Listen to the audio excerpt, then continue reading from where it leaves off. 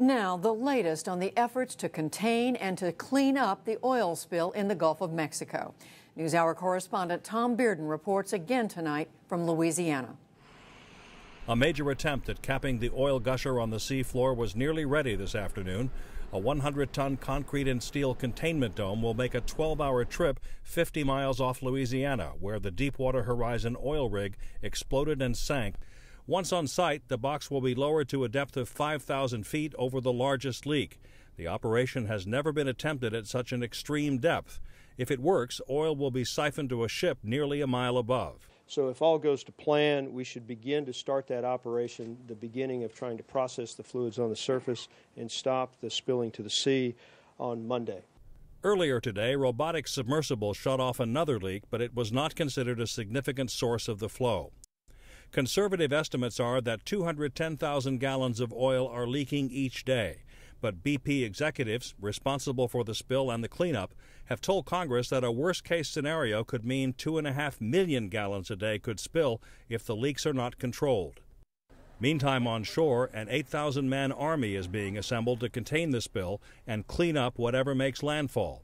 Louisiana Governor Bobby Jindal. Today, you see this jackup barge. This jackup barge will be leaving today with absorbent boom. You're going to see commercial fishermen. You're going to see Louisianians who know this area better than others not only devise this plan, but be ready to help implement this plan. And this is what it's all about. Many of the men whose seafaring livelihoods are threatened by the oil slick will be put to work. We need to come up with another plan to keep the rest of our people employed and keep the marina open. At the Delta Marina in Empire, Louisiana, manager Louis Hovenagel says he's planning to house at least a thousand men in a bid to make up lost revenue from a commercial and recreational fishing ban. It's kind of hard to explain. It's hard for me to understand. It's hard to hear myself say it that we got to we're going to benefit from the from a tragedy. But what else do you do? I mean, this the, the people we saw going fishing here this morning. Um, I talk to them on a daily basis and they, they, they need to know what, what exactly, where does the rest of my life stand? And where's my livelihood going to be tomorrow? To the east, in Alabama, 750 people jammed a town hall meeting in Gulf Shores seeking reassurance, and they were told what they wanted to hear. The headline was, We're not going to close the beaches. Let's hear a round of applause for that. Local government officials and BP representatives fielded questions and comments. Tony Kennon is the mayor of nearby Orange Beach, Alabama. BP needs to take action on that side of it. Um, I appreciate their pledges. I appreciate their uh, their commitment to make us whole. But uh, like my daddy said, it ain't what you say, it's what you do. Connie Bryers works for a vacation rental firm with a lot at stake. Her company owns 500 rental properties in the area what our vacation planners and what all of us as a company, and I think everyone in the industry is saying, don't cancel. We still don't know what's going to happen. And as a matter of fact, go ahead and call and make your vacation plans. If they come, some of those vacationers might end up at King Neptune's restaurant, owned by Al Sawyer. If you're on vacation, do you want to just relax? I don't know, you know.